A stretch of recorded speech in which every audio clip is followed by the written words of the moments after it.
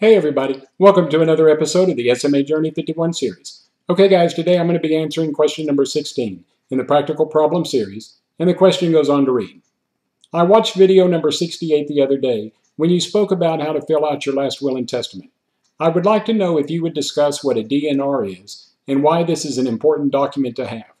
I know a little bit about what a DNR is, but I heard that there are multiple kinds of DNRs that we should have.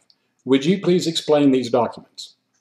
Okay, so this is a really good question, and it really doesn't matter if you have SMA or if you're perfectly healthy. I think this is a question that all of us should address so that in case something does happen to us, it makes it easier on our loved ones to make the decisions that they need to make when the time comes.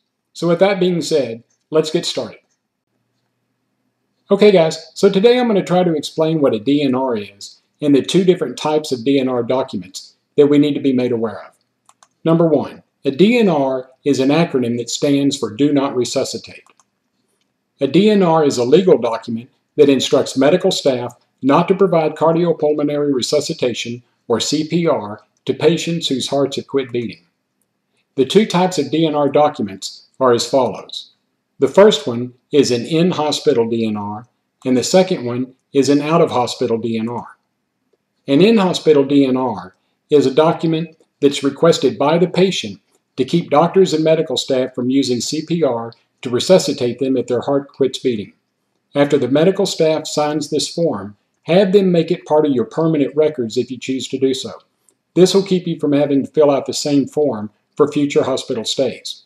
Now, it depends on which hospital that you go in. Sometimes the DNR has to be signed by the doctor, but in some states, they'll allow nurse practitioners to also sign off on this document.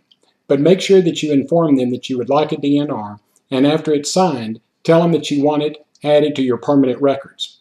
Now, if you go to two or three different hospitals over the course of your lifetime, you're going to have to fill out DNRs for each and every hospital. But if you tell them to put it in your permanent record, the next time that you either go by ambulance or you go in for a medical procedure, they should have this DNR available. But also make sure that you verify that it is part of your medical records. So each time that you go in, just have them verify that it is part of it, just to play on the safe side. The second DNR is the out-of-hospital DNR, and this will keep paramedics from using CPR or shock paddles to resuscitate you if they're called to your place of business or your home. Once this document is signed, witnessed, and notarized, keep this document in a place where your loved ones can get to it quickly. If paramedics are called and nobody can produce this out-of-hospital DNR. Paramedics are forced to give CPR or use shock paddles to resuscitate you by law, and they will not be able to abide by your loved one's wants or wishes. So again, if something happens to you at your house or your place of business, and they call paramedics, and you cannot produce this out-of-hospital DNR, they're going to be forced to try to resuscitate you by law. This out-of-hospital DNR document is very important because it's the only thing that's going to keep them from having to do this procedure on you. Now, also, out-of-hospital DNRs are subject to the state in which you live. So what I would do is go out to Google or go to a search engine and type in out-of-hospital DNR and then put your state in. So as an example, I typed in out-of-hospital DNR Texas. Or if you live in California, just type in out-of-hospital DNR California. That way you'll be able to find the document for your particular state. And if you move to another state, you're going to have to have a different document as well.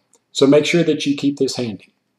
Most importantly, and you really need to understand this, be sure your friends, family, and your employers know your wishes and be sure they know where your out-of-hospital DNR is located. Okay guys, I hope I answered these questions for you. If I did, don't forget, give me that thumbs up, subscribe to my YouTube channel, and follow me on my other social media sites. The links are in the description below. I hope you guys have a great day. God bless you, and until next time.